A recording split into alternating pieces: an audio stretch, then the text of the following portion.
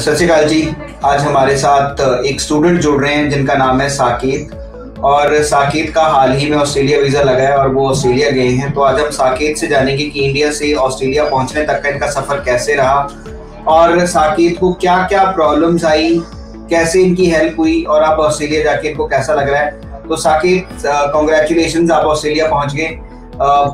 कैसा क्या क्या फीलिंग है अभी ऑस्ट्रेलिया में बैठे हो? क्या लग रहा है?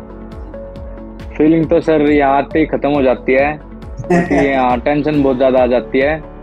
लेकिन ये है कि मतलब एक स्टेज होती है लाइफ की जिसपे मतलब एक स्टेप हम अचीव कर लिया है आगे बढ़ते जाएँगे अब। जी बिल्कुल साकेत एक पहला स्टेप अचीव करना बहुत ज़रूरी होता है। मैं सबसे पहले साकेत ये चाहूँगा कि आप ये बताइए कि आप इंडिया में कहाँ से हैं और आपका वीज़ा का सफ़र और फ़ाइल कैसे रहा? मैं सर बेसिकली सोनीपत से बिलोंग करता हूँ। और लाइक मेरी ग्रेजुएशन तक मैं सोनीपत ही रहा। फिर यहाँ मतलब पोस्ट ग्रेजुएशन मैंने चंडीगढ़ से की। और फिर ऐसे ही मन बन गया कि भाई बाहर जाना है। फिर मैंने वैष्णो से ज्वाइन किया और वहाँ मतलब फ्रेंडली स्टाफ था बहुत हेल्प हुई मेरी। लाइक हाँ वन मंथ में ही मैंने पीटी क्लियर कर ली थी। और उसके बाद तो फिर यू नो कोरोना आ गया एंड ऑल दैट फिर उसमें तो वीज़ा आ तो गया मेरा। फ़्लाइट की वेट कर रहे थे फिर तो कब खुलेंगी कब खुलेंगी कब खुलेंगी। और फिर फाइनली वो भी खुल गई और हम यहाँ आए आज। तो साकेत आप फ्लिंडर्स यूनिवर्सिटी में हैं और आपका प्रोग्राम हाँ कौन सा है साकेत? मास्टर ऑफ़ आर्ट्स है sir in international relations ji. तो साकेत जब आप आपका वीज़ा आया फ्लाइट्स खुलने की अनाउंसमेंट हुई तो जो उसके बीच का आप प्रोसीजर बताएँगे कि आपका कैसा प्रोसेस रहा जब आपने तैयारी कर रहे थे ऑस्ट्रेलिया जाने की टिकट बुक कराई हाँ तो उसमें कोई दिक्कत आई हो या कुछ ऐसा चीज़ जो आप स्टूडेंट के साथ शेयर करना चाहते हो? दिक्कत सर आई थी स्टार्टिंग में। जैसे जैसे एक तारीख को फ़्लाइट खुलनी थी पहले एक दिसंबर को। फिर वो बुक करा ली जैसे टिकट मैंने। फिर ये न्यूज़ आई कि भाई फ़्लाइट क्लोज होगी दोबारा। फिर वो टिकट मैंने पोस्टपोन कराया मतलब। तो उसमें कुछ एक्स्ट्रा चार्जेस लिए। और साकेत कौन कौन से टेस्ट आपने करवाए थे? यहाँ से जाने से लेके ऑस्ट्रेलिया पहुँचने तक। बस वीज़ा के टाइम तो सर मतलब जो टेस्ट होता है नॉर्मल अपना बॉडी चेकअप होता है वो तो हुआ ही था पहले स्टार्टिंग में। उससे पहले कोविड टेस्ट हुआ था सिर्फ़ लाइक ट्वेंटी फोर आवर पहले का था बस। रिपोर्ट हमारे पास वो नेगेटिव होनी चाहिए थी। जी जी। और बाकी इमिग्रेशन वाले बहुत पोलाइट थे ना कोई मतलब वैसे डरा रखा था पहले तो कि ज़्यादा पूछते हैं इमिग्रेशन वाले ये करते हैं वो करेंगे ज़्यादा पूछेंगे।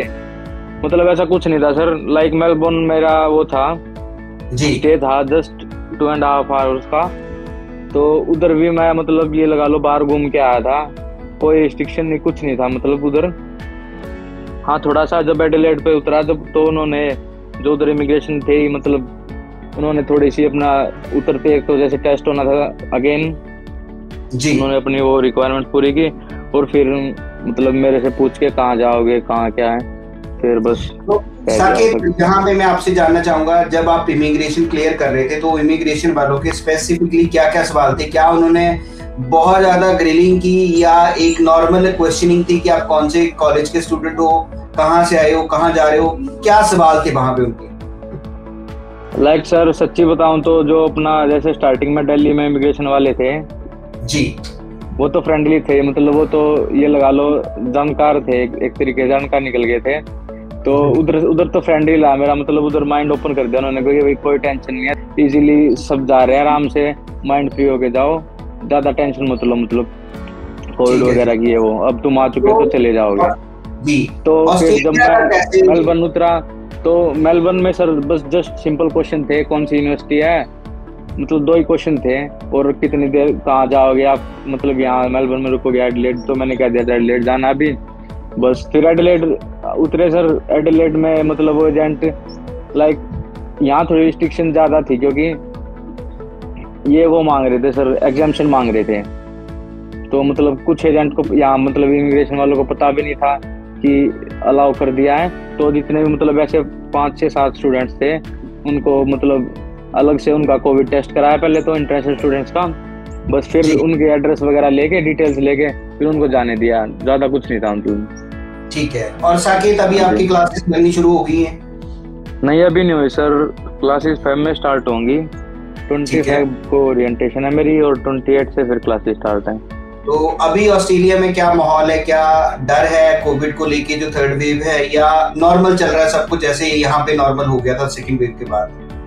सर ये बताऊँ सारी ब्लफ है सर ये कि इतना डर रहा है मतलब हर दूसरे बंदे का वैसे तो अगर कोई टेस्ट करा रहा है हर दूसरे बंदे का पॉजिटिव आ रहा है। जी। लेकिन देखने में बंदा बिल्कुल नॉर्मल है ये जस्ट एक सिंपल फ्लू है जो और किसी को हो रहा है। तो इसमें वैसे डरने वाली तो बात है नहीं लेकिन according to the government and law उनके हिसाब से चलना है तो ये सारी हमने प्रोटोकॉल हमको फॉलो करना पड़ेगा जी बिल्कुल बिल्कुल साकेत बिल्कुल सही बता रहे हो हाँ आप। और क्या फीडबैक देना चाहेंगे वेस्टर्न ओवरसीज के लिए आपकी हेल्प के लिए या मतलब क्या रेकमेंड करोगे वेस्टर्न ओवरसीज बाकी स्टूडेंट्स के लिए?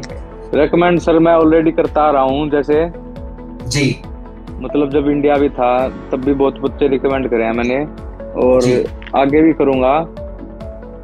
मतलब एक तो नेचर बहुत अच्छा है सर फ्रेंडली नेचर है सबका जितने भी थे मतलब वहाँ पे। जी। सबने सपोर्ट किया मेरे को। मेंटली भी सपोर्ट किया कि भाई हो जाए कि वो बच्चा टेंशन ले जाता है कई बार। या कई कई दिन में कभी सीओ अटक जाती है कभी कुछ हो जाता है। मतलब बहुत प्रॉब्लम आती है सर ये सिर्फ़ वही समझ सकता है जिसके ऊपर जिसपे बीतती हो।